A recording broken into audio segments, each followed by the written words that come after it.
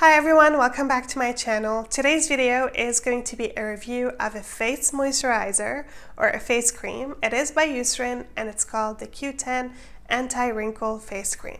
This is definitely one of the best-selling products from Eucerin.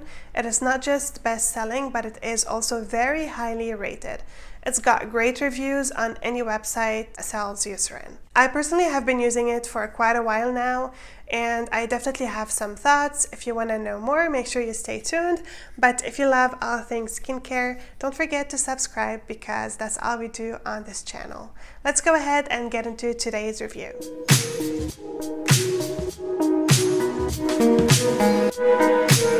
This is the cream right here. It comes in this beautiful jar Definitely very reminiscent of more expensive face creams. I love the packaging. We are getting 1.7 fluid ounces or 48 grams for $10 only. So again, great packaging and a great price point, just like all Eucerin products really. I love Eucerin packaging, they always do such a good job with that. It says on the description that this product is made of coenzyme Q10 enriched formula that firms and moisturizes for softer, smoother looking skin. It is fragrance free, alcohol free, and non comedogenic. You can use this in the AM and the PM on the face and the neck, and it can also be used alone or under makeup. Let me show you what it looks like on the inside. It has this yellow tint to it and that is not any color added. I think this color is coming from the Q10, the coenzyme Q10. Let's talk briefly about ingredients because this product only has star ingredients. I couldn't find a single ingredient that isn't good for the skin, so great formulation. Number one, we've got glycerin, and that is a wonderful humectant. Number two is shea butter, which is a wonderful moisturizer and an emollient. Number three, we've got ubiquinone, which is the coenzyme Q10, and that is an antioxidant that is naturally found in our cells. But when it comes to the skin, it has been shown to reduce wrinkle depth, and I'm guessing this is where the anti-wrinkle claim is coming from. We've also got another antioxidant in this formulation, and it is called sodium ascorbyl phosphate, which is a vitamin C salt. This ingredient might boost collagen. It also helps with acne because it has antimicrobial properties, and it has been shown to reduce dark spots. As I mentioned at the beginning, it has great ingredients. There's really not a single ingredient that I wanted to call out as a bad ingredient for you.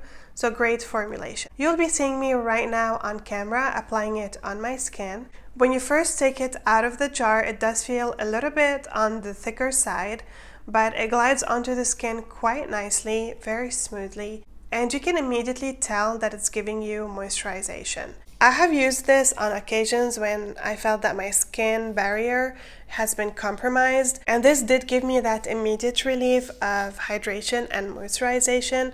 It is great at doing that. Let's talk a little bit about the claim of the anti-wrinkle or the reduction of wrinkle depth.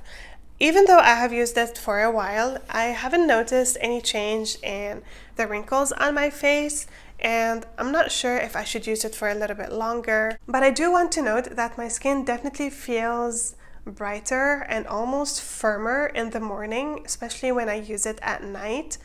I can definitely tell a difference in my skin when I wake up.